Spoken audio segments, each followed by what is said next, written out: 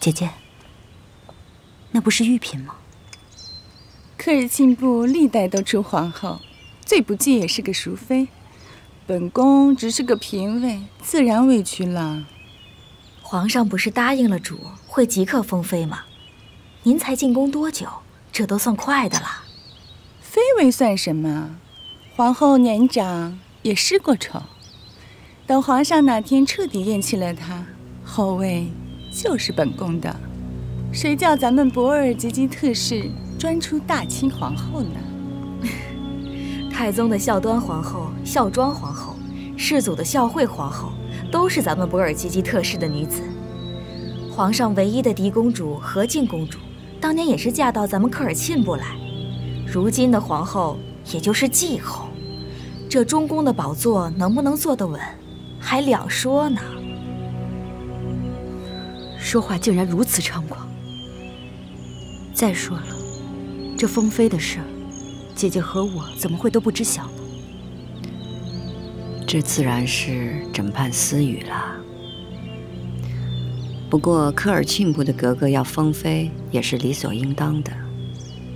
但公然说这样的话，就是犯上。娘娘应该即刻传召。一次传召就能灭了他的野心了？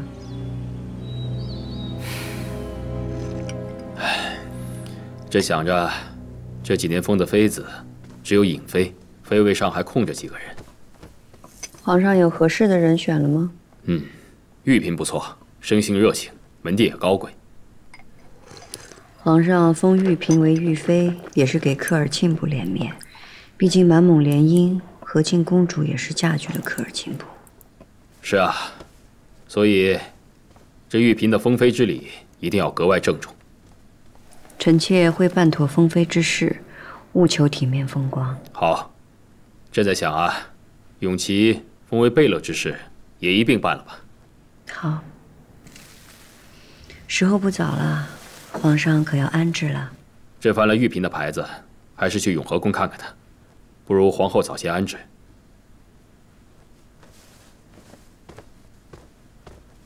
臣妾恭送皇上。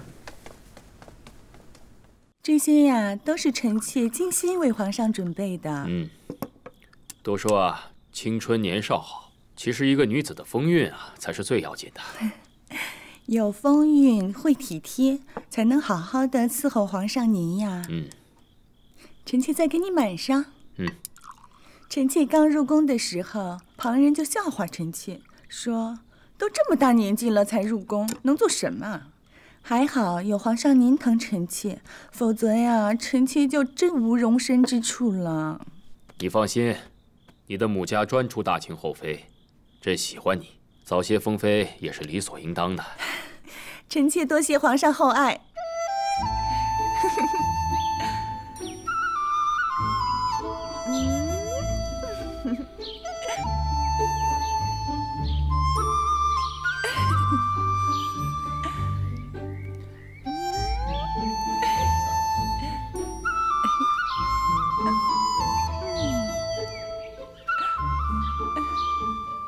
儿，这离册封礼还有几个时辰呢，您也不歇着，这么早就出来了。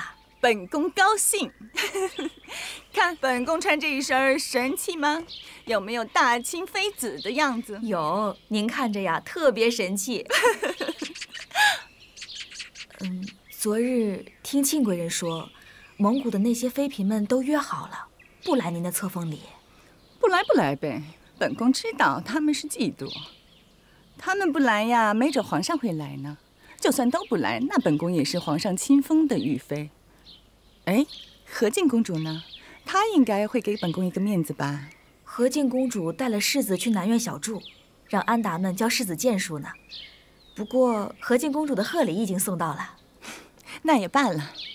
去把皇后赏的那个金凤珊瑚钗拿来，等下谢恩的时候带着体面。是，主儿。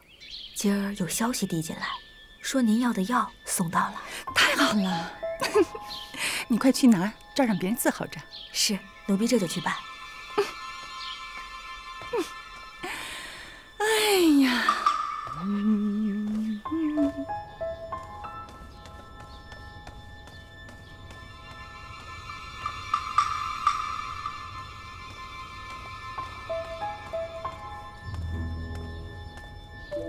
族里有消息吗？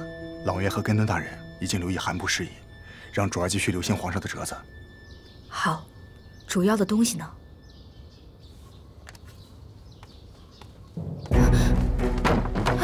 把人抓起来！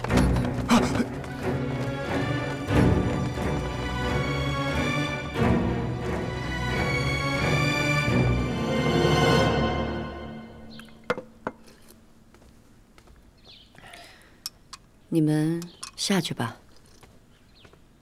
是这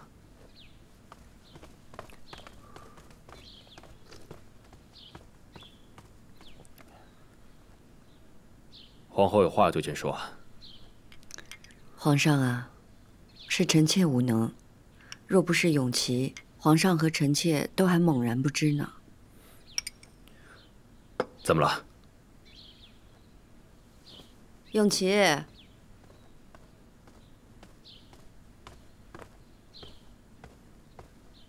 儿臣请皇阿玛、皇额娘万安。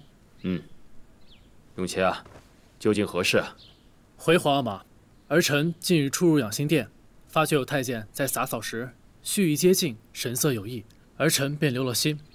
果然查出此太监探听消息，偷偷记录药物，私下向宫外传递。哪儿的人？儿臣查了，是玉娘娘安排的。大胆，竟敢这般窃知国事！除此之外，儿臣还发现玉娘娘一些偷偷运进宫的药物，且那些药物似有不妥。什么药？有何不妥？儿臣请了姜太医来说明白，儿臣不宜在旁，先行告退。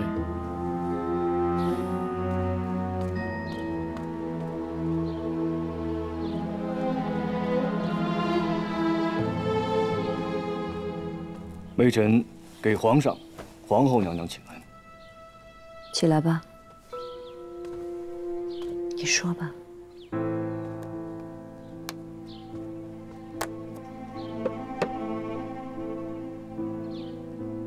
这究竟是什么？回皇上，此乃男女鱼情之药，药力极其凶猛。有毒无毒？回皇后娘娘，微臣查验过，幸好无毒。不过一旦使用，极易上瘾，对身体损害极大。幸好五阿哥发现的早，还不曾用到皇上身上。虽然不曾用在朕的身上，但有此心，也是阴毒险诈。之后皇上的饮食用药要格外仔细些。是。下去吧。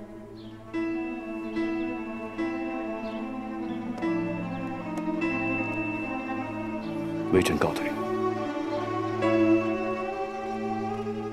皇上，这次的事儿亏得永琪纯孝细心，龙体才未曾受损。可这究竟是国事，要不要臣妾去请玉妃来问话？不必请她过来了，朕自己去看看。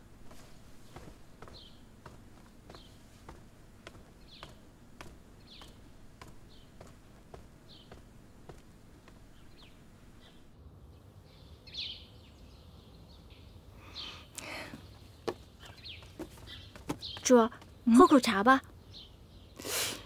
这都什么时辰了？内务府的人怎么还没来？还有朵颜，怎么还没回来？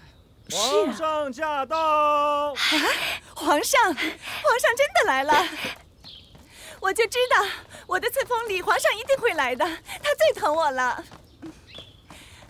臣妾给皇上请安。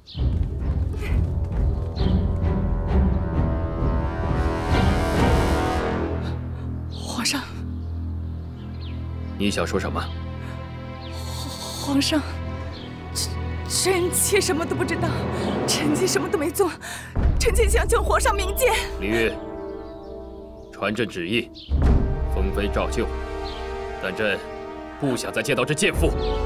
告诉进士房的人，撤掉他的绿头牌，再也不许他侍寝，将他禁足在他的殿阁里，无旨不得出。从今以后，你就只是这紫禁城的玉妃，而非是朕的玉妃。这没有啊！皇上，